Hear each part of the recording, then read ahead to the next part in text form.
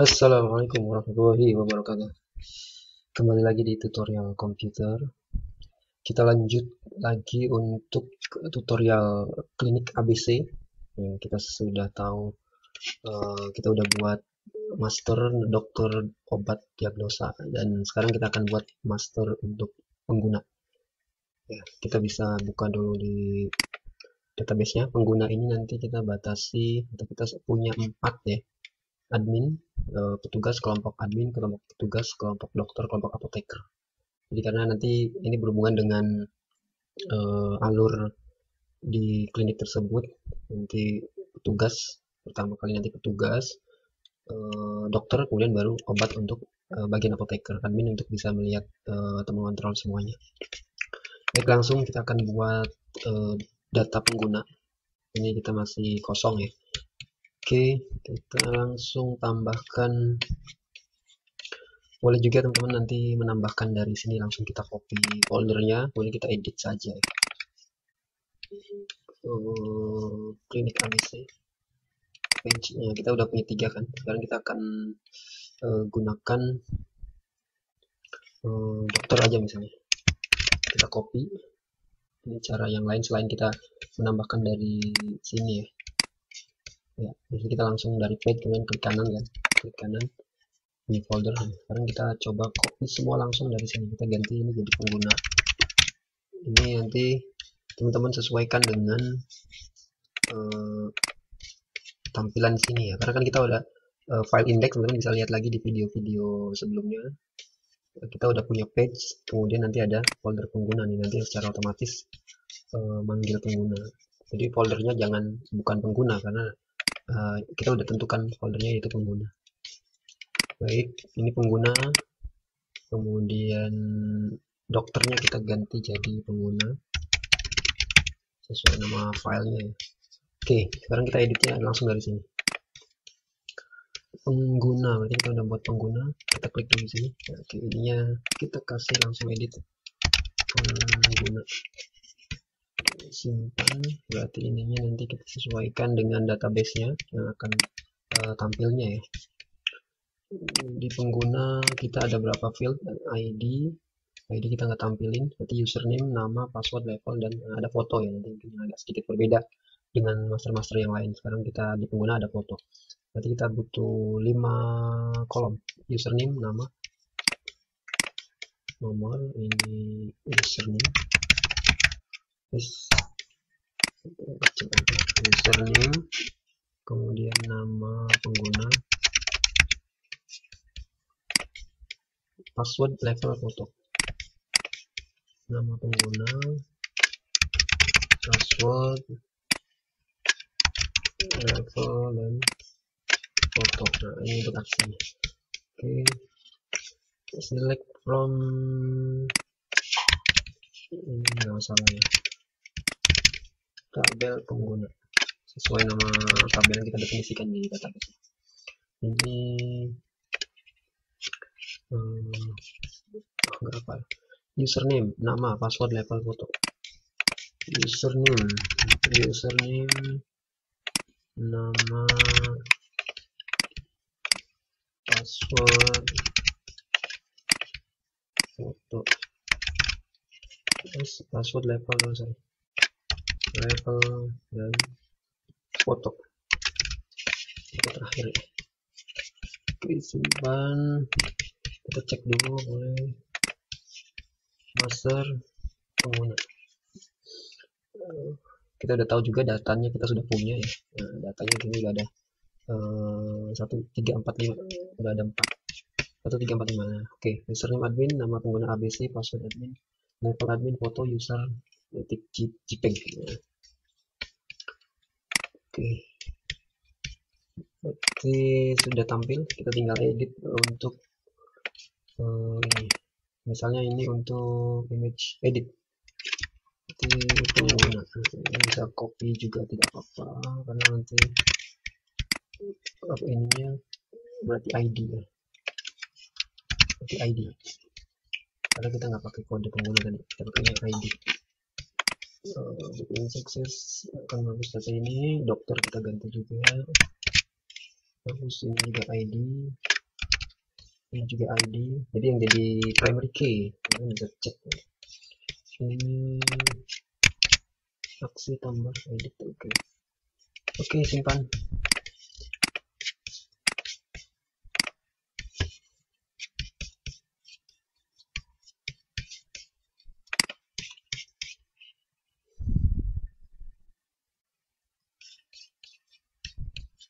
oke nanti kita klik. Misalnya kita mau edit apoteker misalnya edit namanya.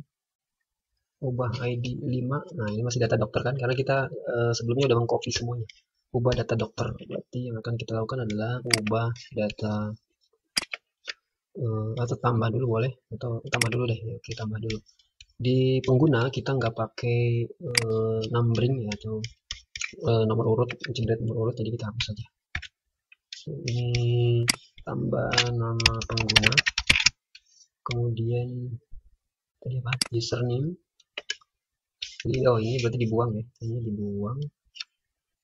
Di body formatted post label kita mulai dari uh, apa? Username. Username. Nama pengguna. Kemudian hmm, apa tadi username nama nama ya atau nama. Atau nama boleh.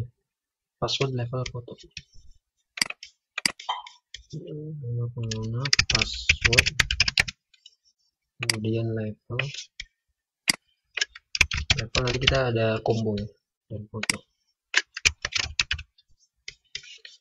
Untuk nama pengguna ininya nama biarkan ini. Kita ganti jadi pwd boleh password ini level karena combo nanti coba kita lihat. Hmm, foto. Level kita copy dari apa? Hmm, diagnosa ada level. Atau ada combo nggak maksudnya? Nah ini ya. Oke kita copy dari sini. Untuk level. Kita copy dari sini. Untuk pengguna ini kita ganti jadi level. Level ininya level. Kita punya jadi level. Udah admin kita mau besar. Kita kayak kecil ya. Ini boleh besar. Admin. Petugas.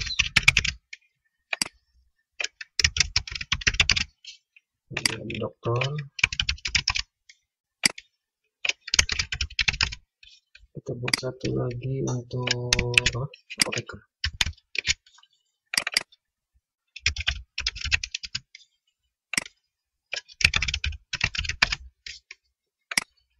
oke foto ini simpan save oh ini berarti nggak usah ada karena kita nggak pakai. Nah bedanya di form method post nanti ini kita kasih multiple itu ya? Copy aja nih dari dari pengguna yang di sini. Ditambah. Post ini n type multipath form data ini fungsinya untuk eh, teman-teman membuat uh, memasukkan foto. Ya jadi nanti kalau ada foto berarti yang pakai ini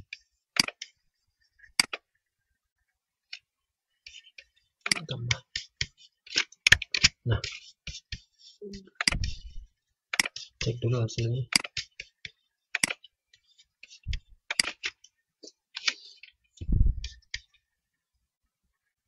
Hmm, simpan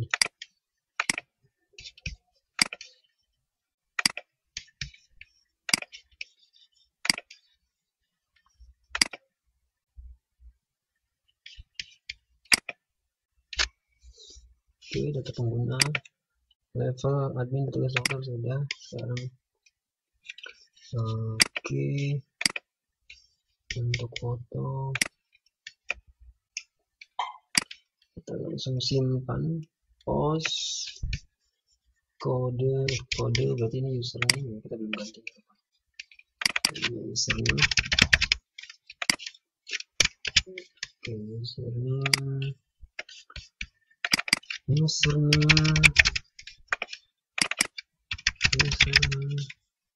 nama sama ini password. Ini pwd tadi saya kasih namanya. Telepon ini level.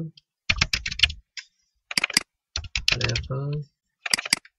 Foto. Foto ini nanti sedikit banyak. Nih untuk foto untuk penyimpanan foto nanti coba kita langsung copy aja. Untuk foto nanti karena kita nanti ada pembacaan lokasi level foto berarti ini kita copy set.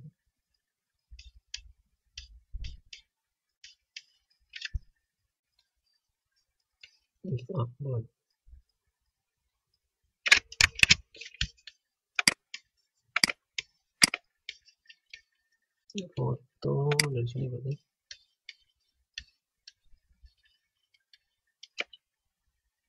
di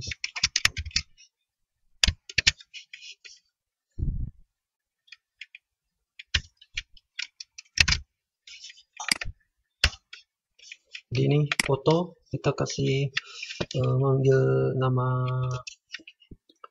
uh, name-nya ya foto. Kemudian nanti akan ditampilkan name-nya.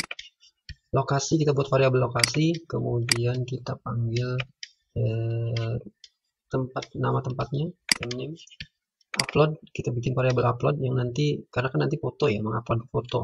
Nah, lokasi kita udah siapkan image uh, di foldernya ini. Nah, folder ini yang kita maksud nanti. Jadi nanti foto-foto semuanya ada di sini. Nah, image kemudian uh, variabel foto. Jika upload nah, jika nanti upload jika upload berarti udah PC dan uploadnya sudah ada uh, filenya maka uh, sebenarnya sama kayak perintah yang itu ya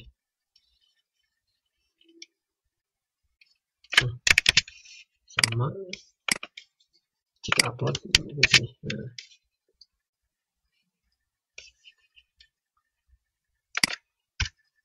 jika upload nah, insert into tabel pengguna.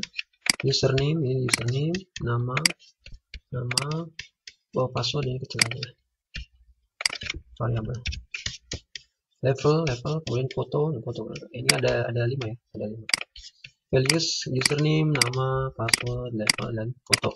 Jika if, eh, if SQL jika SQL artinya akan membaca ini insert dengan benar maka nanti akan tersimpan berhasil disimpan Windows page pengguna.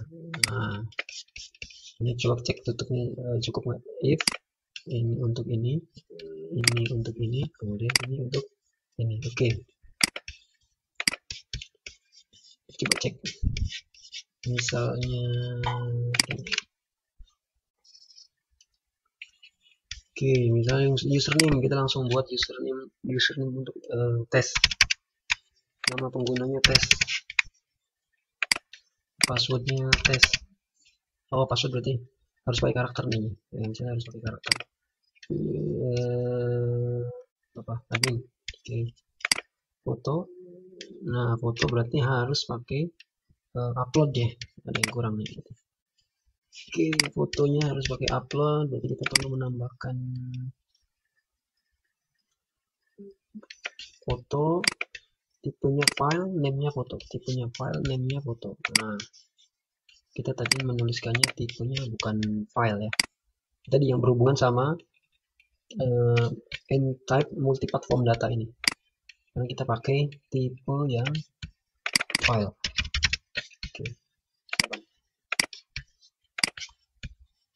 Orang nah gitu. Jadi udah bentuk uh, upload. Kita semuanya pakai tes passwordnya juga ah, ini juga. Untuk password misalnya kita pakai jangan teks. Pas password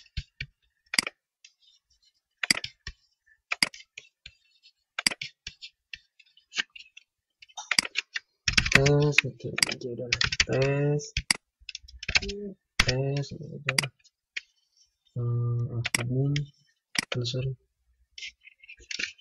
nanti kalau browse gitu. Nah dia akan mengarah ke sini ke file. Jadi kita bisa arahkan di C karena kita udah menyimpan gambar misalnya ada di uh, image ya. Pakai doc hmm, ABC image nah misalnya kita pakai yang pasien ini atau user ya user deh ya. open. Oke simpan coba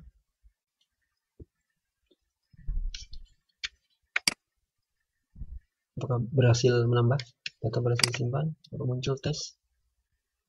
Tes saya ya tes tes tes tes. Oke. Tes tes tes tes ya. Echo oke berhasil. Sekarang kita akan ubah. Berarti ubah kita sudah punya filenya. Yang kita ganti adalah berarti ini ID karena kita pakai rujukannya adalah ID di file ini ya tambahnya ya. Saya tidak tahu kan bukan bukan ditambah di pengguna. Nah ini pengguna ID yang kita panggil.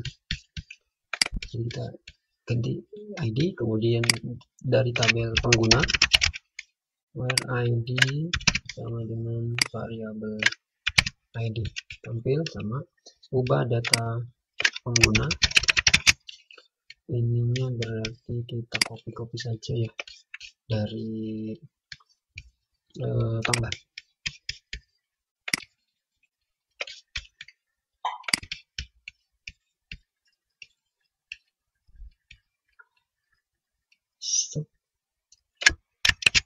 copy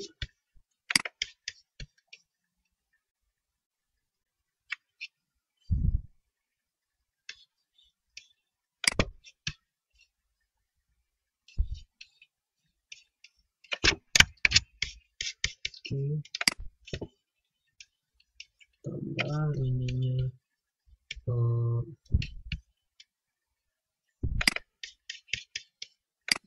nanti kita tetap dikasih karena kan nanti um, mungkin merubah foto gitu merubah foto. Jadi kita harus tetap bawakan ini metode untuk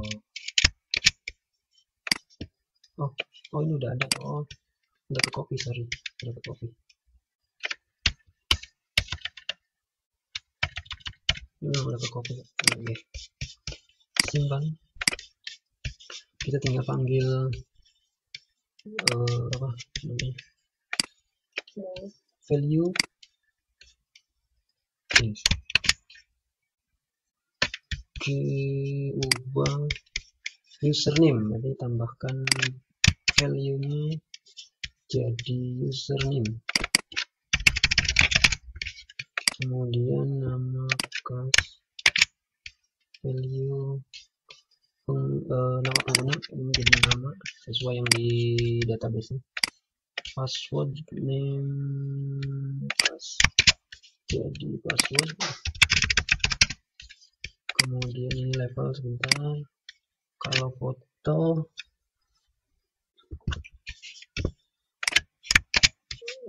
ininya jadi foto. Kita cek. Untuk yang combo berarti kita pakai diagnosa ubah nah, saya tinggal copy aja lah ya. ini bisa if kita jadi copy dari sini saja. Sampai ke paling oke okay, copy. Admin. Admin if tampil level. Namanya laring nah, bukan laring berarti apa tadi? Admin. Selected oke okay. Admin nah oke okay. copy admin untuk petugas sama caranya. Nanti kita tinggal ganti. Dokter juga sama dan apoteker juga sama. Level ini apoteker. Ininya level dokter. Ini level petugas. Oke kemudian untuk foto ya ini bedain. Oh ini masih dokter jadi kita harus copy lagi dari sini. Ini ini kan sama ya berarti ya.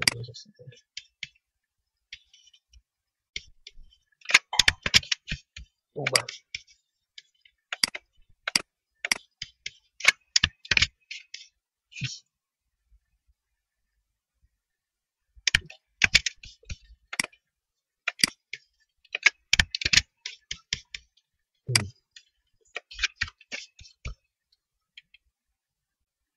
coba kita copy lagi aja dari sini yang yang yang ubah. Ubah data pengguna multiple sama. Ini udah jadi ya? Ini ya, saya copy dari udah jadi.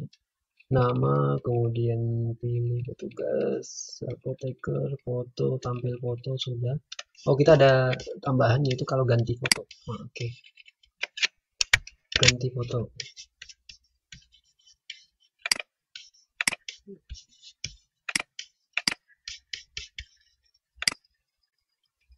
di sini enter enter ganti foto. File foto. Jadi tapi nanti tetap. Ya, tetap ganti foto. Oke untuk penyimpanannya. Simpan username uh, password apa nih passwordnya kenapa ya level foto lokasi sama password password dan nama? Level nama username nama oh passwordnya nggak ada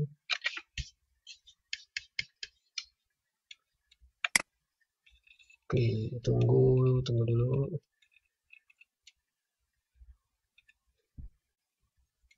Mau ganti password tinggal password ya. Ini kita copy aja if empty lokasi karena kan kita nanti mencari ya di lokasi mana dia ini akan ditampilkan. Kita copy aja nih. Nanti kalau teman-teman berarti yang ngetik eh, sendiri ya. Uh, update username dari sini. Oke. Okay. ya, terlalu panjang. Oke okay, berarti dari sini ke sini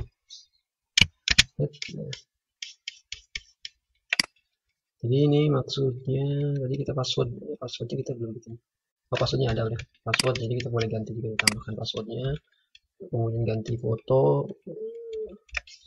Koneksi query update tabel pengguna. Jadi ini kalau nanti dia ganti ya eh, lokasi fotonya kosong atau tidak kosong ada isinya berarti upload. File upload kemudian sesuai dengan foto yang ada di folder image uh, bikin SQL kemudian update tabel pengguna set username kemudian nama. Kalau kita kasih password berarti password sama dengan koma. Variabel password. Where id foto sama foto where id jika SQL jika di berhasil atau dibaca kalau sesuai tidak ada masalah data berhasil diubah page pengguna else jika nanti kosong nah nanti kosong.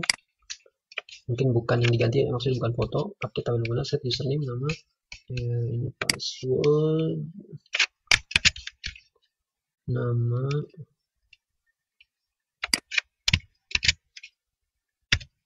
Password password level where id sama ke pengguna nah, sama ya.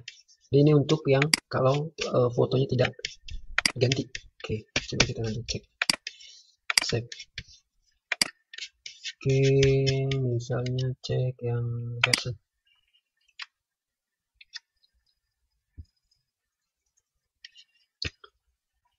oh, kok ID 0 nah apakah benar ada ID 0 misalnya pengguna aksi ubah ID 0 cek dulu. Apakah benar ada ID 0 hmm. Oh ternyata kenapa 0 harusnya kan 6 ya. Karena yang paling tinggi adalah 6 coba kita cek. Karena kayaknya karena belum di auto increment jadinya 0 maka kita bisa ganti jadi 6 aja. Ini karena kita uh, saya buatnya uh, belum auto increment. Tapi nanti kalau auto increment itu udah otomatis pasti 6 jadi teman-teman nanti caranya kalau yang uh, ini kan database teman-teman nggak buat ya langsung dapat data databasenya. Berarti kalau udah terlanjur menambahkan ya silahkan nanti ganti. Kemudian untuk yang selanjutnya teman-teman cek di struktur. Kemudian ID-nya kita buat uh, auto increment jadi ubah. Kemudian pilihnya auto increment. Nah, ini bagi teman-teman yang belum mengikuti ini ataupun uh, baru menyaksikan video ini berarti harus uh, cek di video sebelumnya karena saya belum buat auto increment ya ataupun nomor urut secara otomatis. Jadi kalau nol itu nanti kita nggak bisa nambah lagi tuh.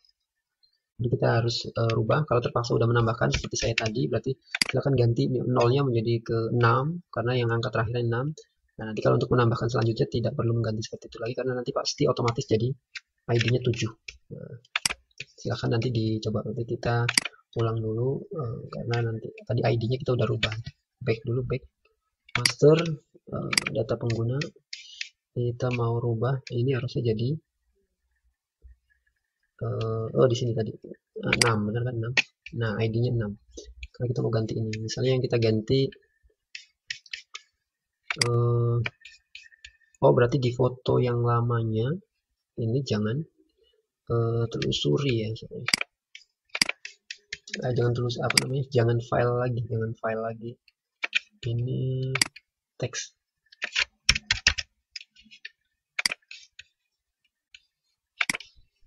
Search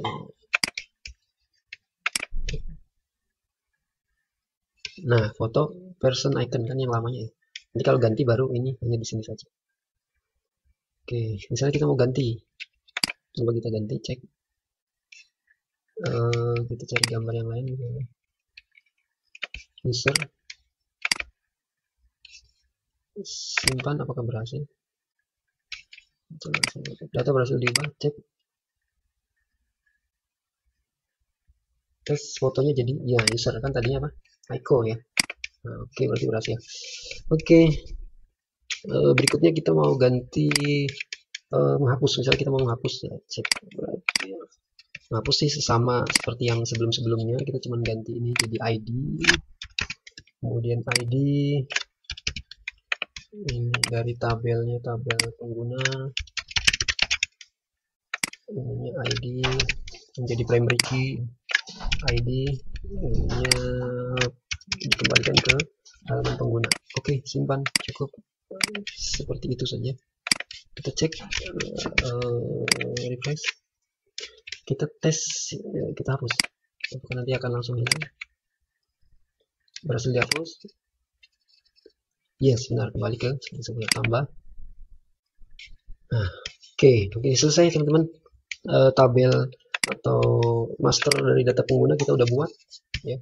Jadi silahkan dicoba untuk data penggunanya karena nanti kita akan membagi beberapa user kan ya dari mulai admin untuk mengelola semua kemudian petugas untuk hanya mendaftar uh, dokter kemudian untuk memeriksa dan apoteker untuk uh, mencetak obat. Oke terima kasih. Nanti kita lanjut di part berikutnya.